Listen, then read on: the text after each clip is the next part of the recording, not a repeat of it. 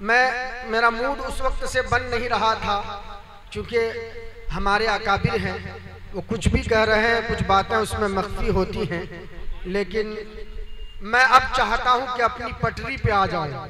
अगर ओलमाए कराम की खसूसी तवज्जो रहे तो इनशाला चूँकि जिस चीज़ के नाम से मैं जाना जाता हूँ, जिसकी वजह से मैं पहचाना जाता हूँ, अगर वो खेती, वो दुकानदारी अगर न हो सके तो फिर वो मज़ा नहीं आने वाला है।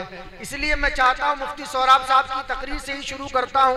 कारी मुजम्मिल साहब और मुखिया सुरेश साहब साबिक मुखिया, मेरा के सुरेश यादव साहब यहाँ तशरीफ़ फरमा है और हमारे बीच कारी मुजम्मिल हयात जो प्रेजेंट मुखिया है, वो दोनों यहाँ तशरीफ़ फरमा है। मैं इन्हीं दोनों से एक बात मैं बताना चाहता हूँ कि दोनों साहब बैठे हैं, पता ही नहीं चल रहा है। पता नहीं चल रहा है कि कौन आप कपड़े से पहचान लेंगे इनको, कौन कैसे हैं? नहीं पहचान सकते। लेकिन सोचिए कि हमारे देश का प्रधानमंत्री कहता है कि हम कपड़ों से पहचानते हैं। नहीं पहचान सकते। आपके मजमे में कितने हमारे बिरादरान वतन, हिंदू भाई बैठे हैं, आप पता नहीं लगा सकते। लेकिन हमारे देश का प्रधानमंत्री कहता है कि हम कपड़ों से पहचानते हैं। हम हम इनका डीएनए क्या है? खून से पहचाना जाता है। नहीं पहचान सकते मंत्री जी। प्रधानमंत्री जी, नहीं पहचान सकते आप। कि हवेली झोपड़ी सबका मुकद्दर फूट जाएगा, अगर ये साथ हिंदू मुस्लिमों का छूट जाएगा। हवेली झोपड़ी सबका मुकद्दर फूट जाएगा। अगर ये साथ हिंदू मुस्लिमों का छूट जाएगा, दुआ कीजिए हम में प्यार के रिश्ते रहे कायम। अगर ये रिश्ते टूट जाएँगे तो भारत टूट जाएगा। अरे अब तो सुबह अल्लाह बोल दो, मौलवी के इम्तिहान, मौलवी के फेफड़े का इम्तिहान लेने बैठने वालों अब तो सुबह अल्लाह बोल देना चाहिए आपको वरना मैं आप मुखिया साहब एक शेर और मैं सुनाना चाहता हूँ कि मोहब्बत के चरागों को जो आंधी से डराते हैं कराम की खसूसी तवज्जो कि मोहब्बत के चरागों से मोहब्बत के चरागों को मौलाना इबादुल्ला साहब देखिएगा इधर क्या मोहब्बत के चरागों को जो आंधी से डराते हैं उन्हें जाकर कह दो कि हम जुगनू बनाते हैं। वाह वाह बहुत खूब। मोहब्बत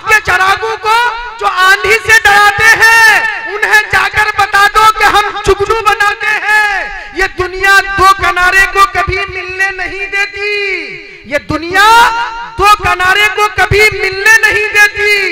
चलो दोनों मिलकर किसी दरिया पर पुल बनाते हैं। वाह बहुत तो बोल दो सुबह अल्लाह मतलब मैं चाह रहा था कि आप मेरा सपोर्ट करें, आप मेरा साथ दें और इंशाला आप साथ देंगे तो मुफ्ती सौराब साहब भी कहकर गए हैं कि सुबह तक इंशाला आपकी खैरियत में ले सकता हूँ।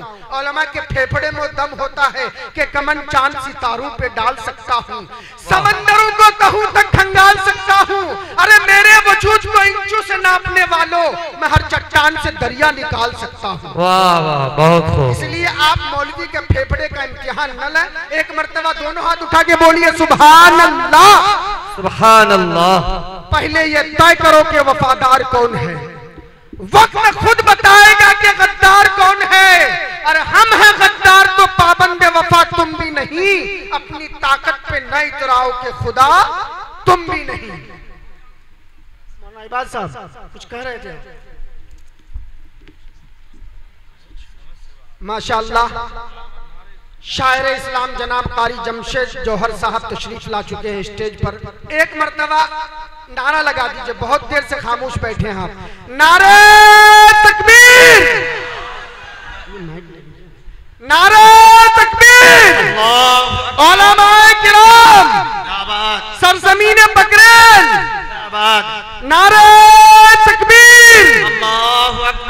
हजरात मुफ्ती सोहराब साहब कह रहे थे कि इल्म इंसान के लिए शिक्षा इंसान के लिए कितना ज़रूरी है।